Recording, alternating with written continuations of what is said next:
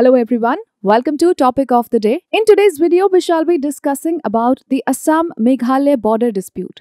Now, recently, both Meghalaya and Assam said that they would seek a probe from the central agency into the Assam police firing that killed six people in an area bordering the West Karbi Anglong district of Assam and the Mukroh village in Meghalaya's West Jaintia Hills. The incident comes ahead of the second phase of talks scheduled between the two states to resolve their boundary dispute. Let us talk about the border dispute between Assam and Meghalaya. Both Assam and Meghalaya have a long standing dispute in 12 stretches of their 884 km shared border. During the British rule, undivided Assam included present day Nagaland, Arunachal Pradesh, Meghalaya, and Mizoram.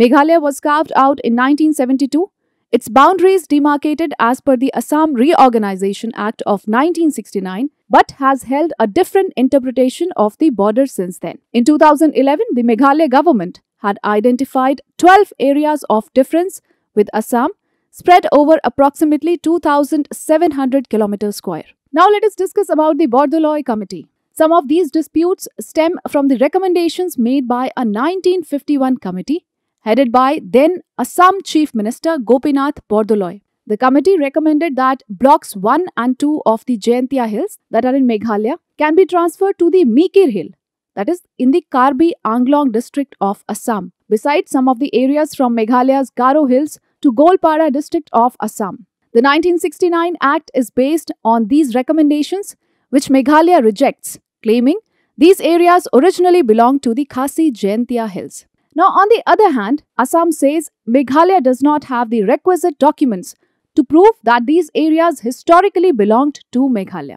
Talking about the YV Chandrachud committee, a number of attempts has been made in the past to resolve the boundary dispute. In 1985, under then Chief Ministers of Assam and Meghalaya, an official committee was constituted under the former Chief Justice of India, YV Chandrachud. However, a solution was not found. Now let us discuss about the March 2022 agreement. From July 2021, chief ministers of the two states held several round of talks to make some headway. Both state governments identified 6 out of 12 disputed areas for resolution in the first phase. Three areas contested between West Khasi Hills district in Meghalaya and Kamrup in Assam, two between Ribhoi in Meghalaya and Kamrup Metro, and one between East Jaintia Hills in Meghalaya and Cachar in Assam. Now, after a series of meetings and visits by teams to the disputed areas, both sides submitted reports based on five mutually agreed principles. First, historical perspective. Second was ethnicity of local population. Then we have the contiguity with boundary. And finally, people's will. And finally, administrative convenience. A final set of recommendations were made jointly in which out of 36.79 km square of disputed area taken up for settlement in the first phase, Assam would get full control of 18.46 km square and Meghalaya of 18.33 km squares. Now in March, an MOU was signed based on these recommendations resolving the dispute in 6 out of 12 areas.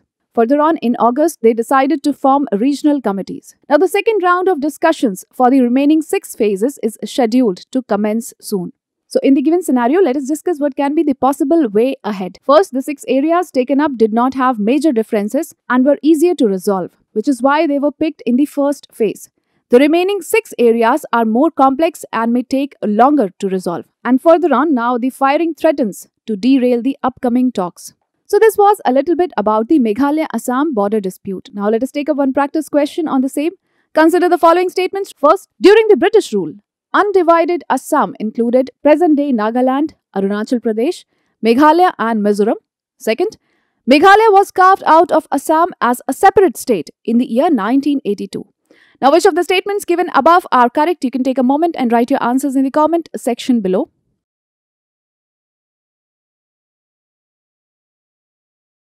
Now here only the first statement is correct. The second statement is wrong because Meghalaya was carved out of Assam, correct?